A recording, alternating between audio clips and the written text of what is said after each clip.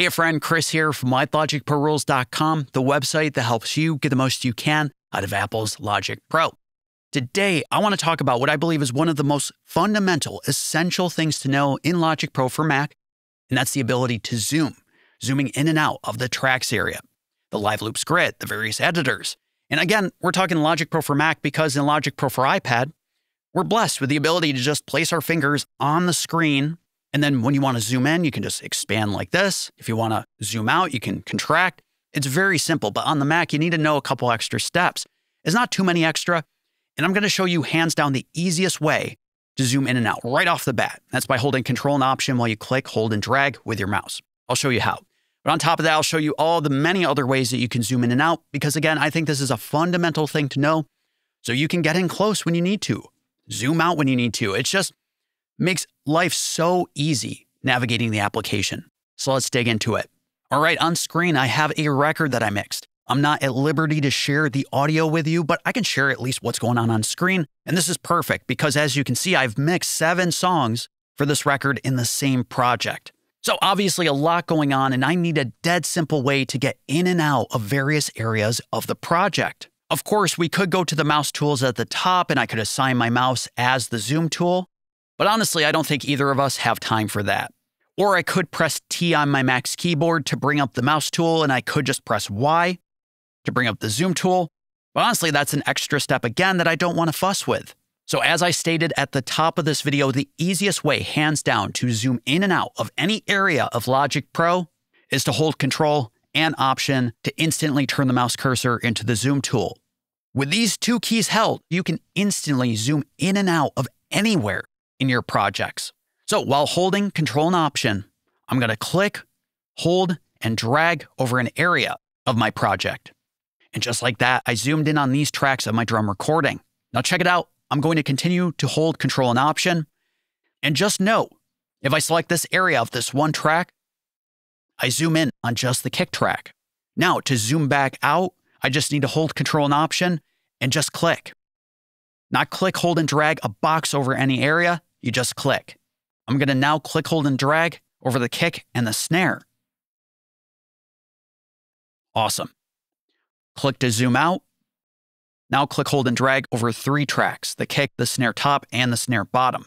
That is how simple it is to zoom in and out. Please, just this is all you need to know. Just commit to memory, hold control, hold option, click, hold, and drag to zoom in, click without the drag to zoom out. That's the whole video. That's all you need to know to get in and out of anywhere in Logic Pro. For example, if I select my kick track and press E to open the editor in the track here, I'm going to hold Command and press the left arrow to zoom out, and I can hold Control and Option, click, hold, and drag to zoom in in the editor. Right? And then you just click to zoom out. And this applies to any editor.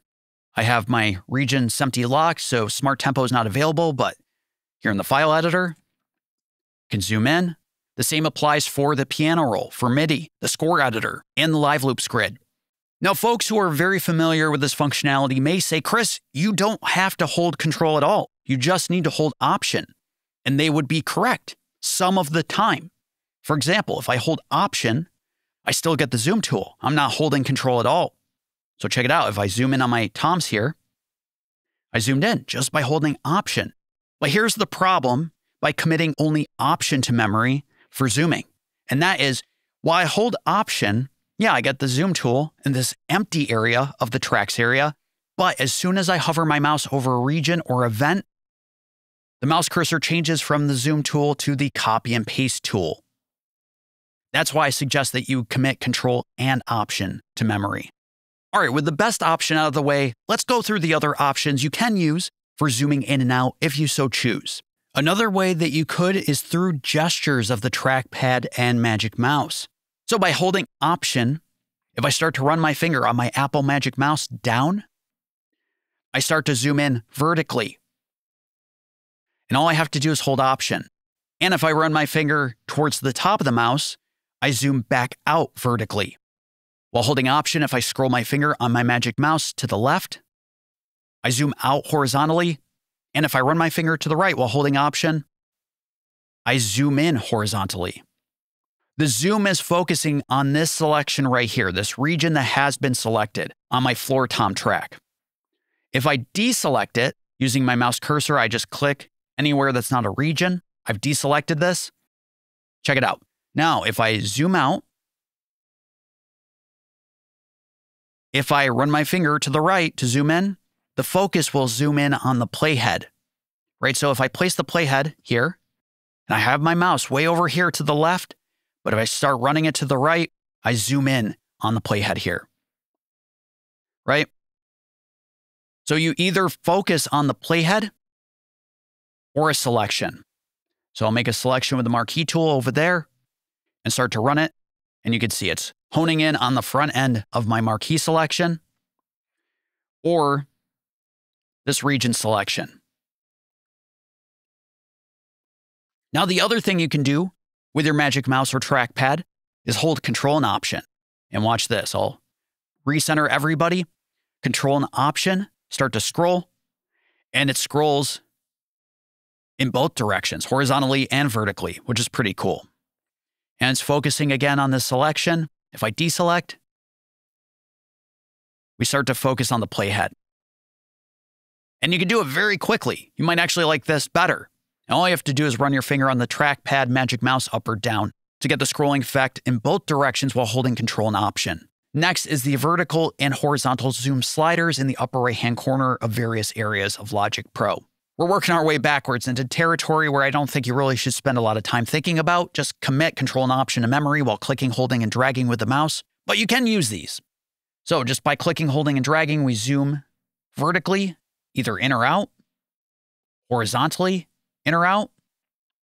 You could also use key commands, holding Command on your Mac's keyboard. You can press the left or right arrows to zoom in or out horizontally, up or down to zoom in or out. But as you can see, this is a slow moving process. And the sliders, while are much faster, is not as convenient as the zoom mouse tool. There are also these auto zoom buttons in the upper right hand corner, which will zoom out completely to show you everything in your project from top to bottom, left to right. Now, if we flip to a different project, we're going to take a look at the Live Loops grid. This is the Hardwell Live Loops grid. The artist Hardwell has a producer pack that was released not too long ago for Logic Pro. And I just want to show you, you can use this control option, click, hold, and drag in any area in Logic Pro that allows you to zoom in and out, such as the Live Loops grid. So if I hold control and option while click, hold, and drag, I can zoom in. Look at that. Once again, control and option, click, zoom out. And this also can occur in the audio editor here. Beautiful. Or if we zoom in and select something that is MIDI based, Open the piano roll, same thing. Or if we flip to the tracks area, where I dragged every live loop into the tracks area, if I select the MIDI region again, open the score editor, control and option, click, hold, and drag. Oh, yeah. Smart tempo editor, let's analyze. Control and option, click, hold, and drag. That's how awesome zooming is in Logic, and honestly, how essential this functionality is when working in Logic Pro. So I hope this video was helpful for you. If it was, as always, please subscribe to Why Logic Pro Rules here on the channel or on the website. And please be sure to check out the description below where I always include links to PDFs, guides, and templates to help you in your journey with Logic Pro. Thanks so much, and I'll talk to you later. Take care.